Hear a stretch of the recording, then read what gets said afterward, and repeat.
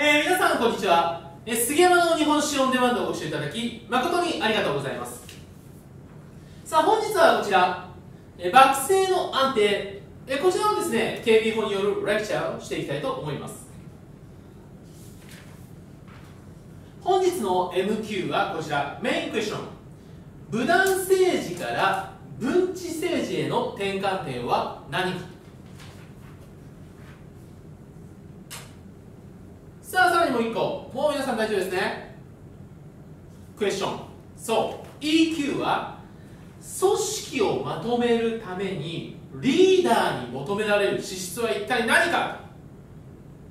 さあ映像の前の組織をまとめているあなた。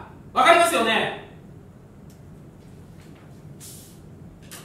さあそのようなわけでですね皆さんこんな人知ってますかね？あのまあちょっと年齢上よく好きな人なんですよ。梶川さん。梶川殿。ご存知ですよね。そう。私大好きなんでございますよ。ね。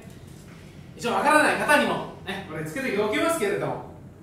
浅野殿殿中でござります、えー、刀を収めてください。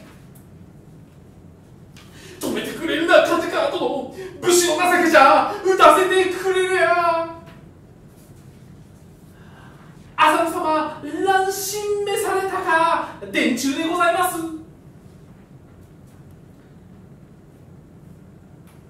これそのうちですね私いよいよもって自分自身を止めないとですねどこまで行くかっていうこの杉山日本史オンデマンドですがさあまああの有名なですねねあの赤穂事件、まあ、いわゆる忠臣蔵が起きた時代を本日は見ていきたいなと思います。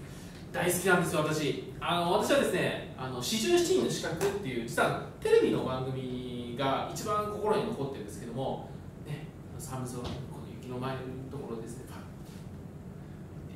ねあの仇討ちですよ、ね、まあいろいろあります。が、まあ、お気持ちは分かりますけどね、まあ、当時はちょっとなかなかっていうところなんですけども。さあそんな中心蔵のイメージを持っていただいて平和と秩序の確立。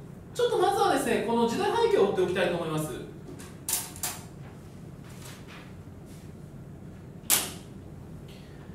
さあ、えー、三代将軍家光が亡くなり家綱が将軍となりますが当時11歳まあ若いんです。で4代の、えー、こちら家綱には星名正幸という人が、まあ、補佐に入るわけなんです。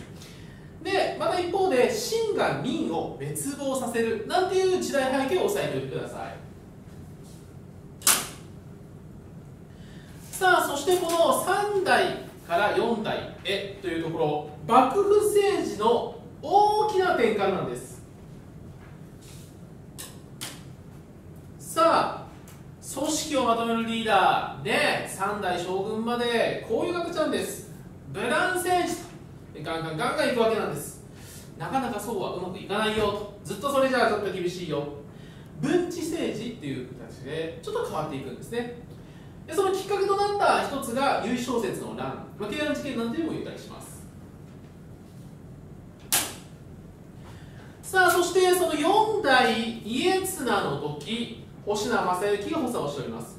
そしてですねまあ世の中ってあるんですよね。泣きっ面に勝ちじゃないですけれども。ね、明暦の大火というのがね、まあ、振袖火事なんて言いますが困窮してしまうんです。幕府の財政こういうことが起きてしまってね。さあどうする？ねじゃあこのままガンガンガンガングダンでいくの？いけないんですよね。さあいうわけで松子用紙の金を緩和したり巡視後追いしちゃダメよ。そして人質の廃止をしたりしています。さあそしてこの4代以降567がいわゆる軍事政治と呼ばれる時代です、まあ、幕政の安定なんていうふうに言ったりします。さあ5代綱吉。まああの人ですよ。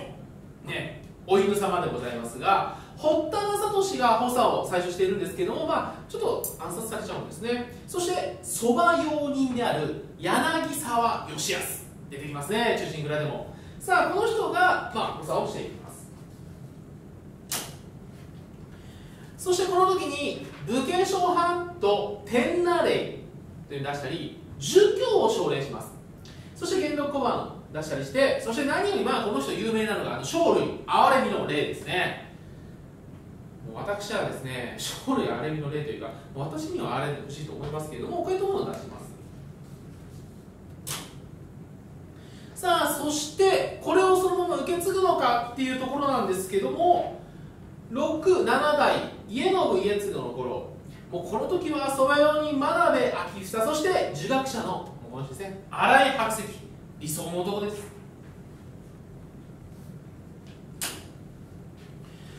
さあしかしですねこの勝利憐れみの例っていうのがこの綱吉さんね亡くなってどうにか残してねって長く残してねって言うんですけれども、まあ、っという間に廃止する。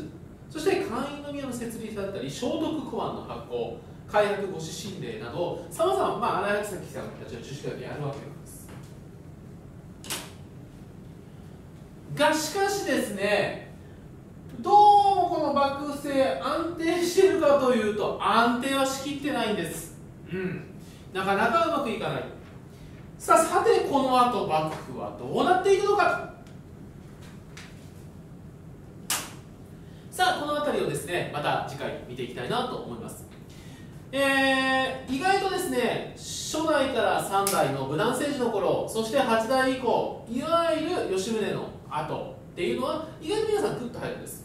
この辺ってなんか意外とうろ覚えっていうところがありますのでしっかりとですね皆さん、ね、点と点を線にして円にする、えそういった学習していきましょう。さあそれではですね、え本日も杉山の日本史オンデマンドをご視聴いただき誠にありがとうございました。